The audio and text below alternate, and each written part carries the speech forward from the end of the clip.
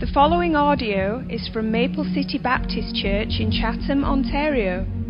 For more information about Maple City, please visit us online at maplecitybaptistchurch.com.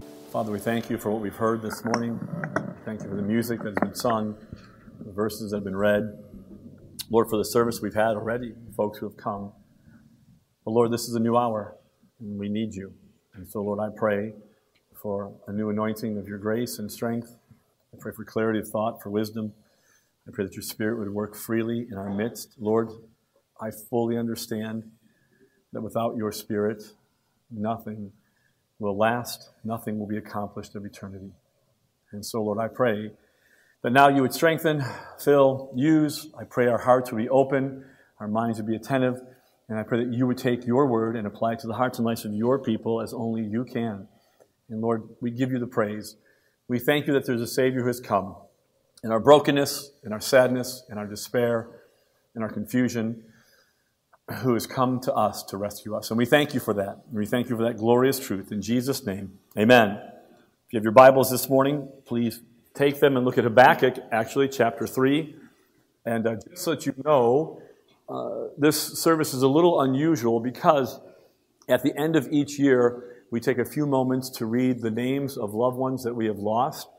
It usually falls closer to the new year, and this might be the first time it's, since we've started this that it falls a little closer to Christmas. But it's an important time for us. And so this morning we will read the list that I have before me. I know we could probably add others as well, but these are folks from our church family or loved ones of people in our church family. So, in memory this morning, we stop to reflect and think about Betty Card, Cassandra Hallett, Charlie Craig, Donna Cowell, Garrett Van Dalen, Herb Heistick, Yvonne Diaz, Janet Savoy, Jim Rutherford, John Thiessen, Karen Hallett, Rick Maynard, and Walton Hahn. The reading of those names, for me, is always sobering. I was telling the folks this morning, by the end of the year, you forget that we had a spell. We had three funerals in about a month or less. We had a space of five funerals within a month and a half. There's been tremendous loss and grief in our congregation this year. And so we read, and it's sobering, and we reflect, and it's a reminder that we find ourselves today in a broken world, a fallen world, a world where there is sin, there is sadness, there is sorrow, and grief. The hymn written by Henry Lyte, I think, serves us well this morning. He wrote, Swift to its close ebbs out life's little day. Life's little day. Earth's joys grow dim, its glories pass away. Change and decay in all around I see. O thou that changest not, abide with me. The message this morning is Christmas in Habakkuk. And the reason for that is because we have been in the book of Habakkuk, and we come to a close of that book actually today. And, and I, I'm amazed, at least for myself, you might come to a different conclusion, but that it's so appropriate this morning as we look at the very last three verses of this book, how they line up to what we've just said and where we're at this morning. In the book of Habakkuk, he is, of course, an Old Testament prophet he has surveyed the reality of the situation. He's looked around at his culture, and they're a mess. They have turned from God. Uh, they're sinful, they're wicked, there's violence, there's corruption, there's hatred. I, I mean, it's just abounding. And he says to God, where, where are you? Don't you see? Don't you know? Why will you allow your people and this culture, your, your chosen people, to continue to act like this? And God reminds him that I do know, I do see, and I will act, And the way that I will act is I will bring the Babylonians down and they will deal with my people. They will be the rod of punishment for them. And when Habakkuk hears this, he's mortified because he knows of the cruelty of the Babylonians. He has seen what they have done. They are known for their violence. And he says, God, wait a minute. How is it that you will take a people more wicked than your own and judge them? And God says, My word is true. The vision is sure. Wait for it. And Habakkuk comes to a point where he understands that now he must wait for it. To wait for it. Here's what he writes at the end of the chapter. Verse 17 Though the fig tree may not blossom, and, and for us, maybe for many of us, not in the agrarian culture, this might not mean anything. But as you're talking about a farm community, a shepherding community, uh, listen to what happens. Though the fig tree may not blossom, nor fruit be on the vines, though the labor of the olive may fail, and the fields yield no food. Right? We're not talking about Sobeys or another grocery store, superstore that you can just go to. When the food in the field fails, it fails. Though the flock may be cut off from the fold, and there be no herd in the stalls. What he just describes here is not hyperbole. He's not just trying to paint a picture of, ah, it seems really bad, and so we'll, we'll make it as bad as we can. No, what he is saying is a reality. The Babylonians are coming. They will lay siege to your city. People will starve and die and be killed. The walls of the city will be destroyed. Your holy place, the temple, will be ravished. It will be demolished. There will be nothing left. And for those who do survive, you are going into captivity. This is his reality. This is what he knows is happening and will happen. It is the loss of everything. Everything. And, and you can just hear in this description the darkness of the situation. These are dark words, and these are dark days. And, and I find it ironic this morning that for us, in our time of the year, you know, this is the darkest time of our year, right now. The 21st was the darkest day of the year with the least amount of sunlight. Darkness, it's, it's oppressive. It, you feel it, you, it weighs on you. Now, I know for some of you this morning, God bless you, this is the most wonderful time of the year, right? How many of you like that this morning? This is this Christmas is your time to shine. Can I see your hands? Okay, one. That's awesome. awesome. God bless you, Susan. Um, and but for some of you, it's like this is great. You had your gifts bought by July. The ugly sweaters have been out way too long. The trees have been decorated. We have a lady in our church, God bless her. She has trees in her house all year long. And every year she adds another tree. I'm fearful we may lose her someday in the forest. she is a real lady. It's, it, I won't tell. Uh, never mind. Um, for others, you love the Christmas lights and you decorate. And for some of you, you keep them on your house the whole year long. And that's because you're lazy. and so for some of you, it is. It's a, the most wonderful time of the year. But I, I think we all have to admit this morning, and what we just read and when we think about the life that we've been living, uh, there are dark days in this world that we live in. Dark days. And we've experienced them. For some in this room, you've experienced financial difficulty this year. For others, physical difficulty, emotional difficulty, relational difficulty, spiritual difficulty, a dryness and difficulty in your Christian walk, in your dark days. And I think this morning it's not an exaggeration that in some sense, whether you're in it now, and some of you are in it now, or you're just sort of coming out of it and you're starting to see a little glimmer of hope. But it's like storms in our life. You're either, you're either in them, you're coming out of them, or you're entering into them.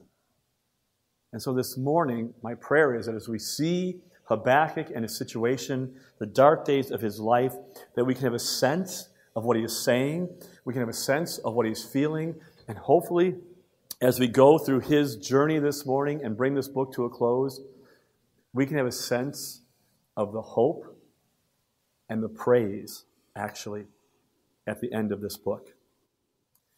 So, verse 17, he reads, and it's gloom, and it's doom, and it's darkness, and it's, it's real. Verse 18, yet,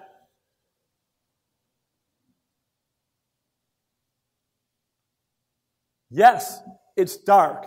Yes, it's difficult. Yes, it's painful. Yes, there's loss. Yes, there is the great fear of the unknown. And yes, there is the great fear of the known.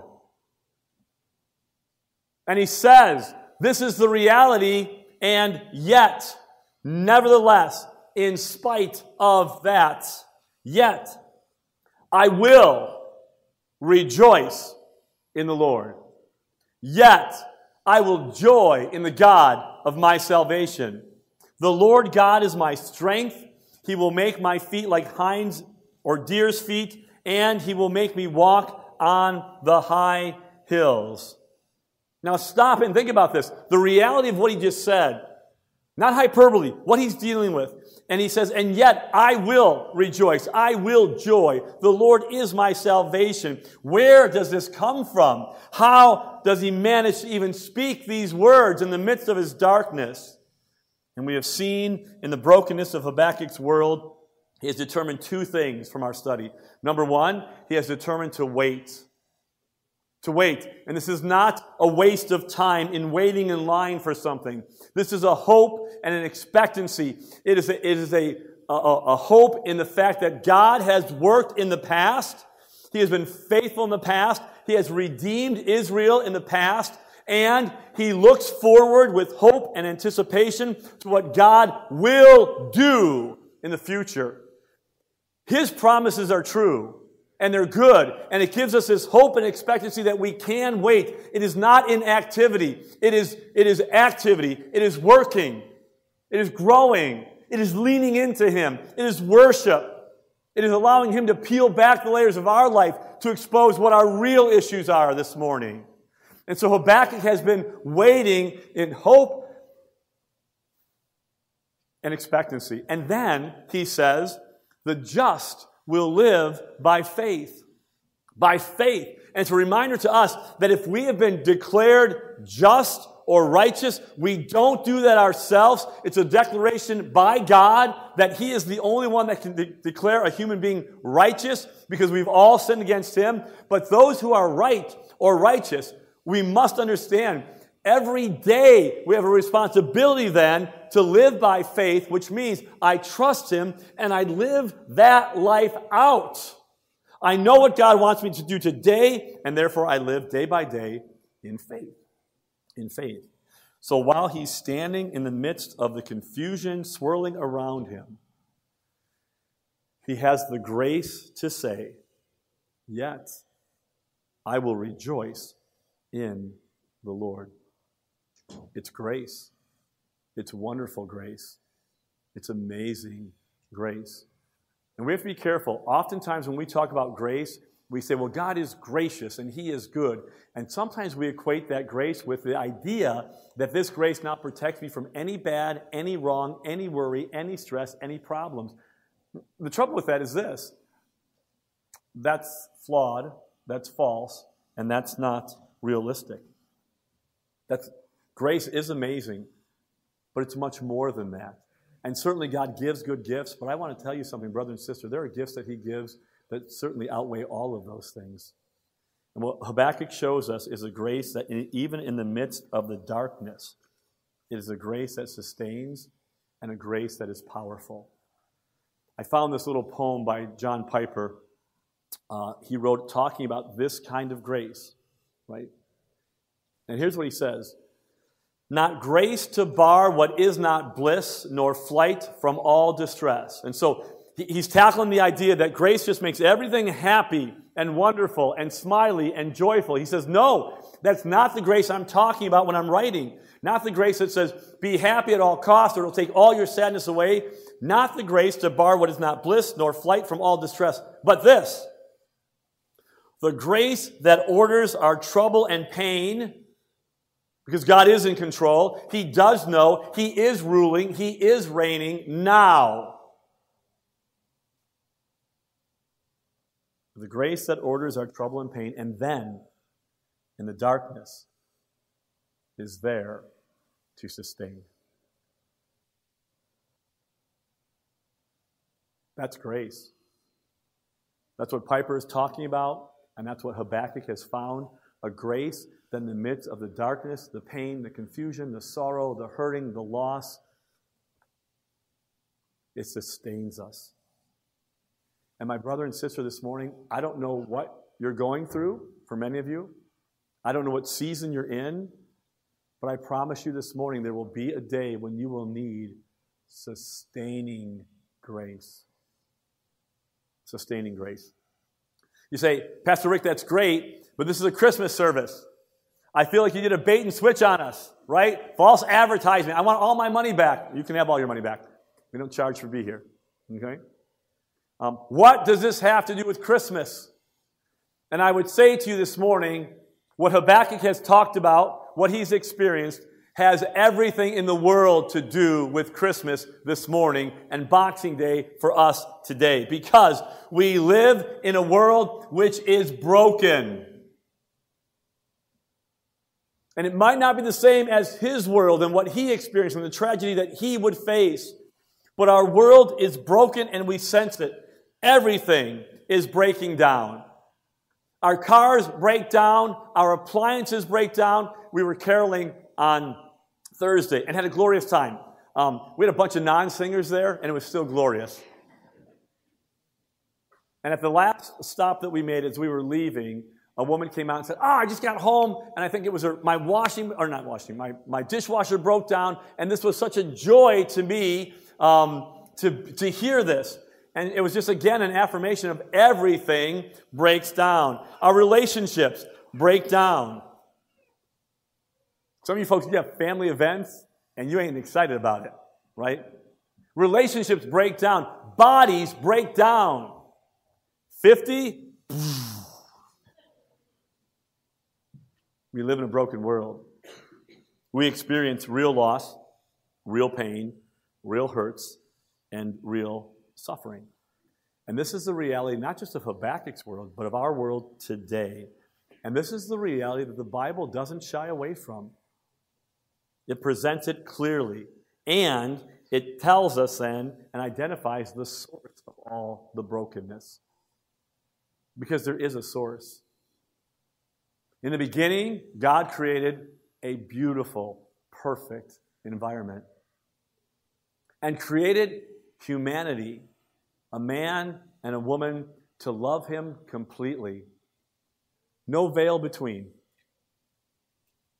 Could you imagine walking with the God of the universe in the cool of the day, in openness, no fear, no running, nothing to hide, no shame? This was their life. They had everything. Everything.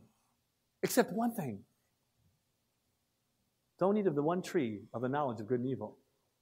But they decided to create their own reality, that they could be whatever they wanted to be, that they could decide what would be right and what would be wrong. They would be God to themselves. And so they disobeyed, they rebelled, and they plunged this world into chaos. I have a friend who just sent me a meme last week, and it was the look that I'm going to give when I see Adam and Eve in heaven. And the guy was like, I'm going to blame our original parents, but can I say something to you this morning? We are culpable for the world in which we live today, and we have been complicit as well.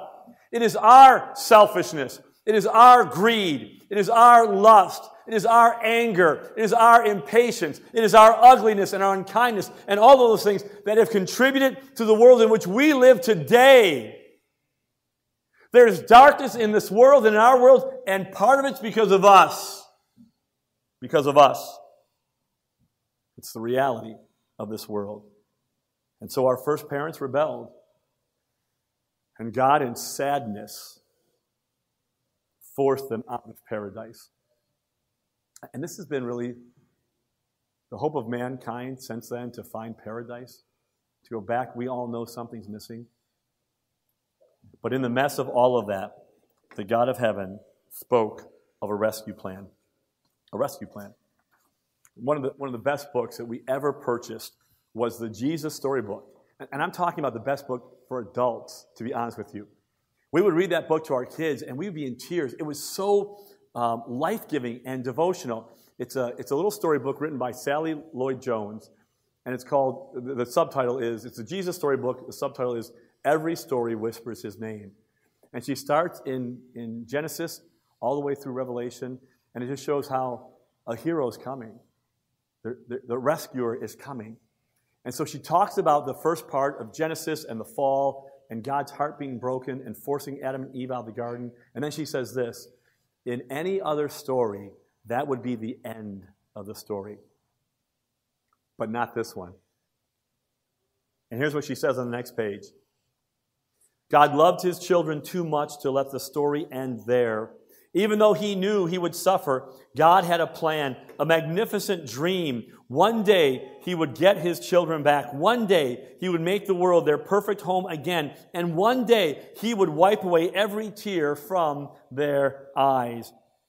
You see, no matter what, in spite of everything, God would love his children with a never stopping, never giving up, unbreaking, always and forever love. And though they would forget him, and run from him. Deep in their hearts, God's children would miss him always and long for him. Lost children yearning for their home. Before they left the garden, God whispered a promise and said, It will not always be so. I will come to rescue you. And when I do, I'm going to do battle against the snake I'll get rid of the sin and the dark and the sadness you let in here. I'm coming back for you. And this is the God of heaven. He did not run away from our sin. He did not run away from our sadness. He did not run away from the despair that we caused, but instead, this God ran towards it, and He still runs towards it today. He runs towards, and the amazing thing is this, God's rescue plan, the thing that he devised, his method would be that he himself would enter this broken and fallen world. Sometimes writers and screenplay writers and, and I guess movies will, will do a cameo appearance where the writer or they'll have a, a famous person, they'll just slip them into the, the story somewhere. It's like, oh my goodness, that was so and so. Do you know something? The God of heaven, this is his story and he has made a cameo appearance. Emmanuel, God with us. That the God who spoke all of this into existence, the holy, perfect, just, righteous, loving, the fountain of all goodness and joy, when humanity thumbed its nose at him, and continues to thumb his nose and rebel against him. This is a God who devised a plan that he himself would come and take on flesh and dwell among us. My friend, I don't even think we stop enough to understand how staggering this is that the God, the, the finite God, would clothe himself in flesh. Listen to what Augustine says about this, the incarnation. He says, Man's maker was made man. That he, ruler of the stars, might nurse at his mother's breast. To be a baby, a helpless baby. That the bread might hunger, that the fountain thirst, the light sleep, that the way be tired on its journey, that the truth might be accused of false witness, that the teacher be beaten with whips, the foundation be suspended on wood, that strength might grow weak, that the healer might be wounded, and that life might die. This is our God. He has entered into our environment. He has entered into our experiences. He is not somewhere out there. He came to live among us. Theologian Donald Macleod says this He lived among a mother and a stepfather. He lived among brothers and sisters, among disciples and Pharisees, among Roman soldiers, lepers, and prostitutes. He experienced pain, poverty, temptation. He physically witnessed squalor and brutality. He heard obscenities and the helpless cry of the oppressed. He was not detached at all. He is God with us, fellow man of all men, crowded, busy, harassed, stressed, and even anxious. The Garden of Gethsemane, as great sweat, drops of blood like sweat came from his brow, thinking about what was before him. No large estate, no financial capital, didn't have money to pay his taxes or even to buy bread.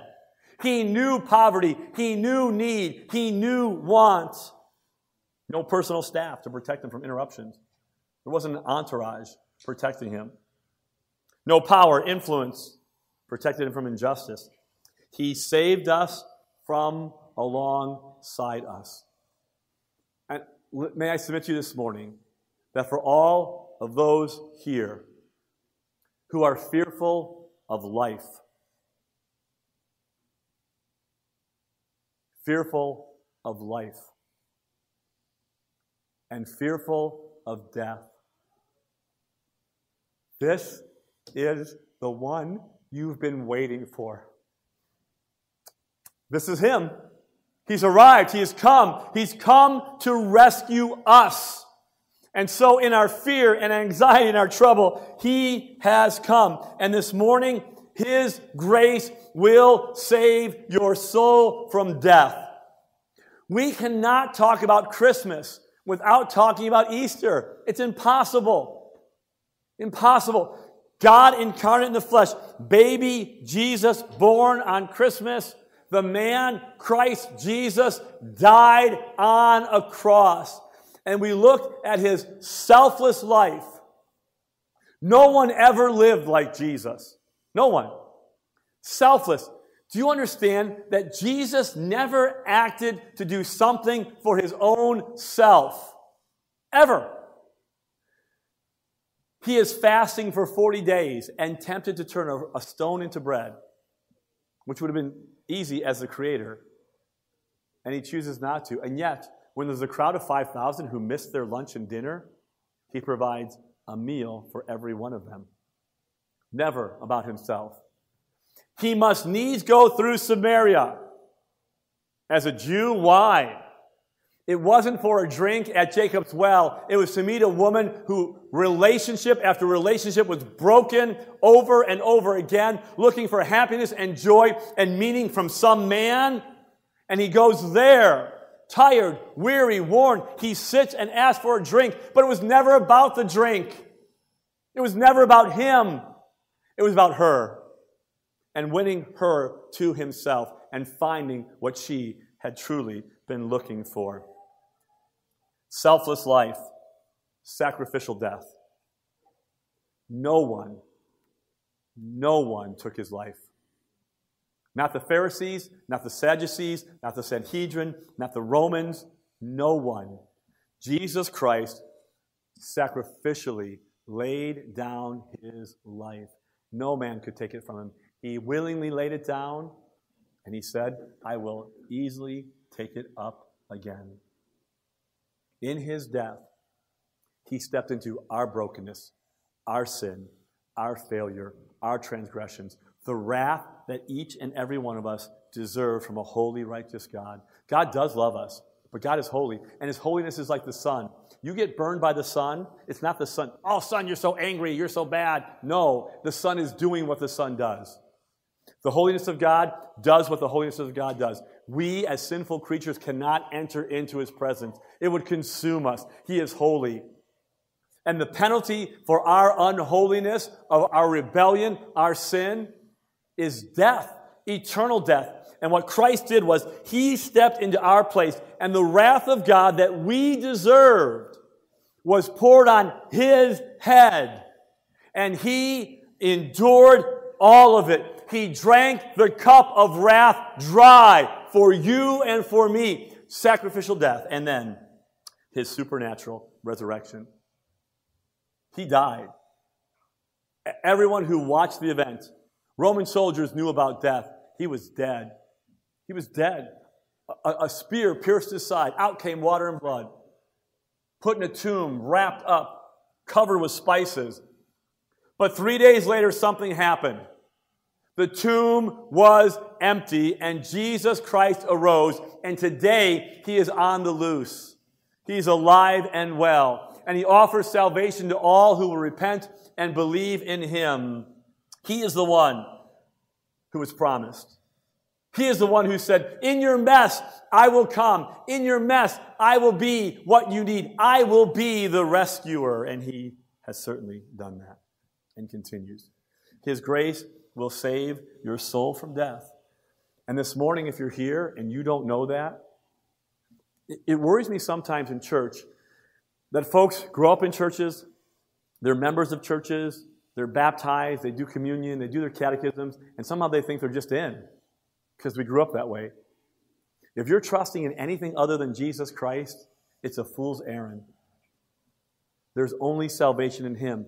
Not in your church, not in my church, not in Baptist, Catholic, none of it. Not in good works. We must come to Him. And today, today could be the day, if you understand your need of Christ, to call out to repent. Repentance is a change of mind that leads to a change of behavior. I was going this way. Jesus is Lord. He died for me. He lives. I'm going to turn and go this way. His grace will save your soul from death. And this morning, for those of us who know Him, His grace will sit with you in your darkness. It's a blessing to have people who love you and care for you and gather around you and encourage you and it can bring great comfort. It's another thing to have the God man sit with us in our darkness. It's a whole different ballgame. Max Lucado wrote this. He says, Let him be as human as he intended to be. When we say things like, Well, God knows, it's like, Yeah, God knows. No, no, no, no, no. Yes, he does know. But Jesus Christ knows as a man who lived in this flesh. Let him be as human as he intended to be. Let him, um, let him into the muck and the mire of your world, for only if we let him in can he pull us out. And I submit to you, my dear brother and sister, this morning, in the muck and the mire and the confusion and the loneliness and the sadness, sadness and the loss it is time for us to allow the, the God man, Jesus Christ, into our mess. There are some kids, right? When it's time to clean up their toys, they run from it, right? And, and then usually the oldest ones have to stay there and clean up the toys. It's birth order, I think. Right? We run from that. We run away from that. We run from the mess. Can I tell you something? Jesus Christ never runs from the mess of our life. Ever. Well, you don't know. You don't understand. If you knew, it doesn't matter because Jesus Christ runs to our mess. He runs through the muck and he runs through the mire and he runs through the uncleanness. Listen to me. Do you understand why there's stories in the New Testament of Jesus Christ touching a leper? They're unclean. You can be defiled ceremonially, but you could be sick Jesus Christ never hesitates. A leprous man comes to him and says, Lord, if thou wilt, you can make me clean. And Jesus says, I will. And he touched him. A man who would have not been touched. A matter of fact, the religious crowd, If there was a leper coming, they would pick up rocks and throw them at that man so he would cross the street. But not my Jesus. He doesn't do that. And for too long, we've thought this idea that, oh, I've gone too far, Lord. I know I'm your child, but I'm dirty. I'm full of muck and mire. I'm unclean. If, if I were you, I would be done with me. I say that almost every week. God, if, if I were you, I would be done with me. And Jesus says, no. I am attracted to sinners who repent. My children, I'm there for you. So let him enter into the muck and mire of our lives. His grace there will sustain you. He will give you songs in the night that you've never heard before. He will guide and direct, and He will pull you out. This is powerful grace. And this is what Habakkuk found. And this is what we need this morning. Not grace to bar what is not bliss, nor flight from all distress, but this the grace that orders our thoughts and pain, and then in the darkness is there to sustain. This is powerful grace. This is exactly what Habakkuk found in his situation. And this is what God's people can find as well. We move from perplexity, we're perplexed, we're confused, we're troubled. But if we allow this grace to enter to our lives, we'll move from perplexity, believe it or not, to praise. And when He sits with us in the darkness, it changes everything. Everything. This morning we thank the Christ who came, God, Emmanuel, incarnate in the flesh, to walk among us. But we praise Him. And knowing He live among us. He died, He absorbed it all, and He lives today to make intercession for God's people. This is the joy of the season. We, above all people, even in our darkness, we have hope. And the hope is not found in who I am or what I've done or what you can do for me. The hope is in a person. His name is Jesus. Let's pray. Father, thank you for your kindness this morning. Thank you for your word. And Lord, I, I pray that we would not soon leave this place without understanding the love that you have for humanity and the care that you have for your children.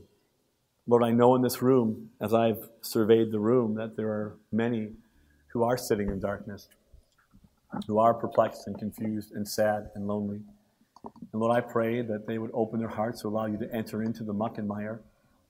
That as you sit, that you sustain them, that you guide them. I know you will. You've done it in my life and in countless millions of lives. And so, Lord, I pray now that you would just have your way in our services and our hearts. May we glorify you through song as we prepare to leave.